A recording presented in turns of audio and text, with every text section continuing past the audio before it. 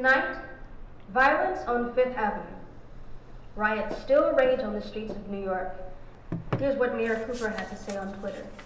We welcome protesters in this city, but we will not tolerate this violence any longer. He later stated that he promised a stronger police presence during such events. Speaking of police, killer cop runs free. On the night of the 5th of June, Mike Parker, a 17 year old boy, was shot dead by Lieutenant Amy Weiler. This incident shocked the entire nation as the investigation revealed that Parker was in fact unarmed. After a three month trial, the court has reached its verdict. Not guilty, obviously a relief for the police department, but an outrage to the boy's family and loved ones. More on this tragic story after.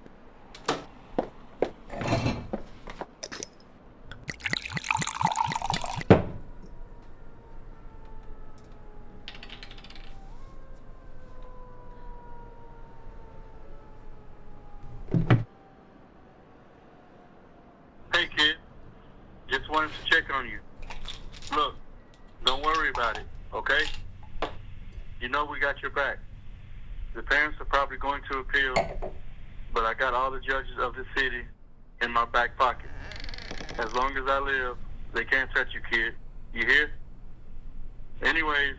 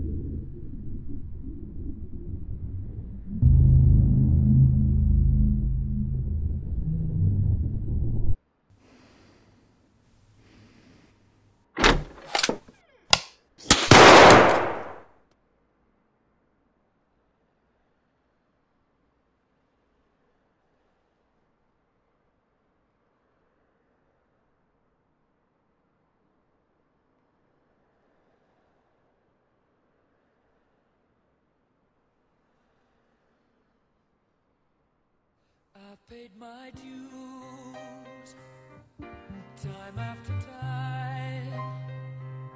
I've done my sentence, but committed no crime. And bad mistakes, I've made a few. Oh, you gotta be fucking kidding me.